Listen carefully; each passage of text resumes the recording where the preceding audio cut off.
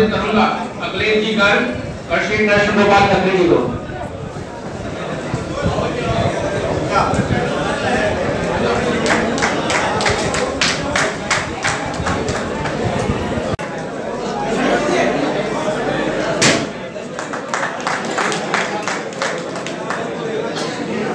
जैन जी पूर्व में एपीपी रही हैं, उनसे निवेदन है कि वो भी दीपक जी से भी निवेदन है कि अनिता जी का सभा बनाकर स्वागत करें।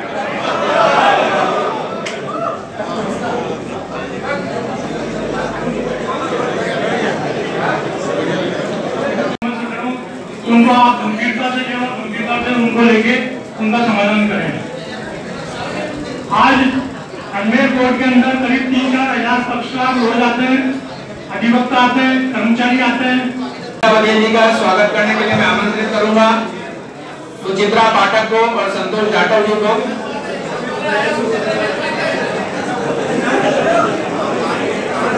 सुमित्रा पाठक जी।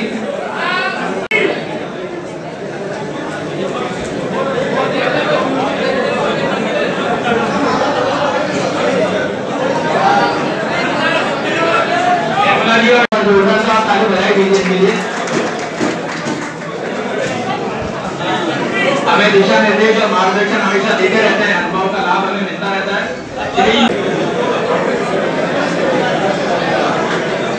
रवि शर्मा जी से निवेदन करूँगा कि जैन और राजीव शर्मा जी का माल्यार्पण कर स्वागत करें।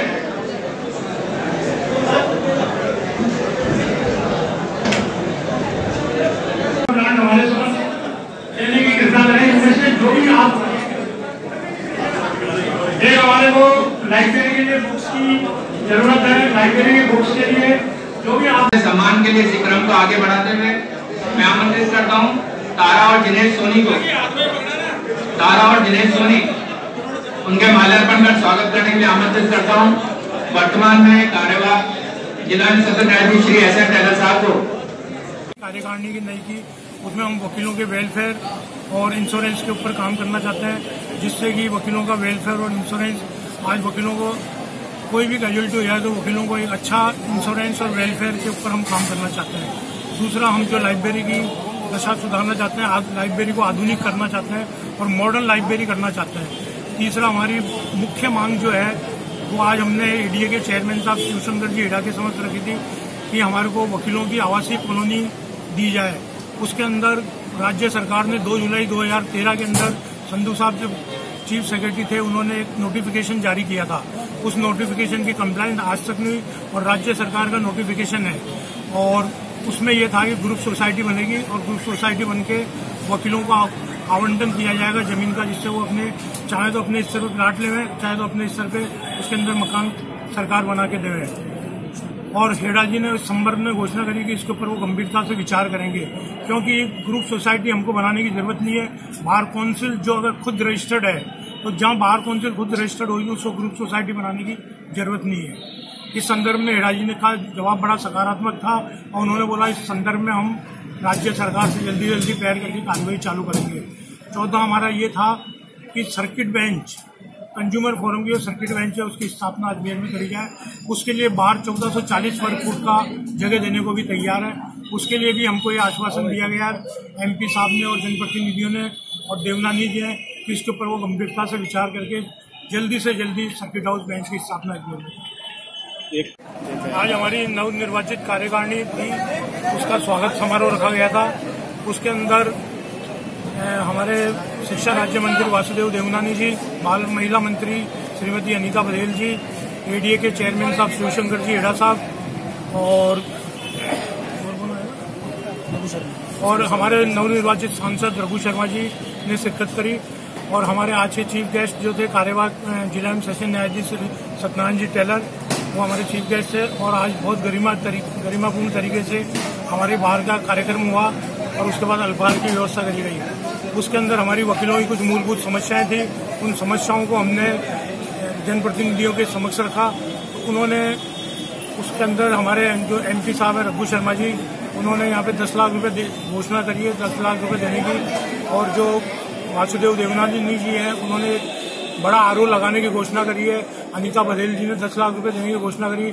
उसका हम समस्त कार्यकारिणी और अधिवक्ता का उनका बहुत बहुत आभार व्यक्त करते हैं। उनको बहुत बहुत धन्यवाद देते हैं। और हमारी कार्यकारिणी का जो स्वागत के लिए सभी अधिवक्ता गण उपस्थित हुए, उन सबका बहुत बहुत आभार और बहुत बहुत धन्यवाद व्यक्त करते हैं। वेलफेयर का बहुत ज़बरदस्त काम चल रहा है। हम उनसे, जो वेलफेयर का उनका काम चल रहा है, उनके, हम वहाँ कुछ जा रहे हैं, उनका योजना बहुत तरीके से उनको हम लेके आ रहे हैं यहाँ पे और जो जूनियर्स हैं और जो सीनियर्स जो वकालत करने नहीं आते हैं, हम चाहते हैं उनके ऊपर, सबके ऊपर काम हो। उसके लिए हम एक कमेटी का गठन कर रहे हैं। और राजीव जोशी जी की अध्यक्षता में कमेटी का गठन कर रहे हैं और जो अच्छा से अच्छा होगा वेलफेयर और इंश्योरेंस का काम वकीलों के हित में हम करेंगे और वकीलों के हित के अंदर हम हमेशा तैयार हैं। आज बार की जो नई कार्यकारिणी का चुनाव हुआ है, उस नई कार्यकारिणी के चुनाव के बधाई का कार्यक्रम ऑर्गेनाइज किया गया था। बार एसोसिएशन द्वारा बधाई के कार्यक्रम में सबको शुभकामनाएँ देने के लिए हम यहाँ आए थे।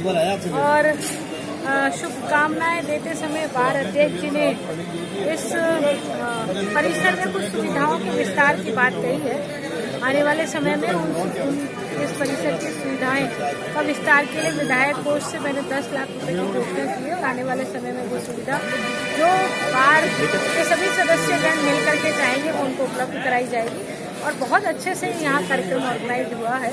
मैं उन सब सदस्यों को जो नव निर्वाचित हुए उनको बधाई देती हूँ। शुभकामनाएँ देती हूँ उनका कार्यकाल बहुत अच्छे से व्यतीत हो और यादगार उनका कार्यकाल बार काउंसिल के अभिनंदन समारोह जो हुआ निश्चित रूप से इस अवसर पर नवनिर्वाचित सभी बार के अध्यक्ष के अपनी ओर से बहुत बहुत बधाई। और साथ में हमने अपेक्षा की है कि बाहर के लोग और हमारे बेंच के लोग सब मिलकर के इस प्रकार का प्रयास करें कि पीड़ित व्यक्ति को सही समय पे, कम समय में सही न्याय मिले।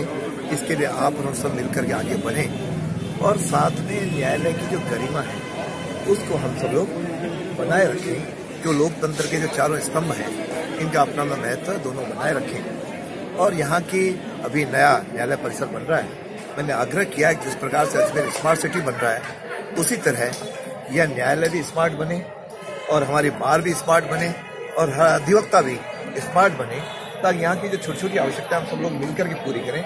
आज मैंने भी अपनी ओर से घोषणा की यहाँ एक बड़ा आरोप प्लांट मैं अपने विधायक कोष से यहाँ पे निश्चित रूप से स्थापित करूँगा और भी हम सब लोग मिल करके आगे बढ़ेंगे और अजमेर के नाम को आगे बढ़ाएँगे।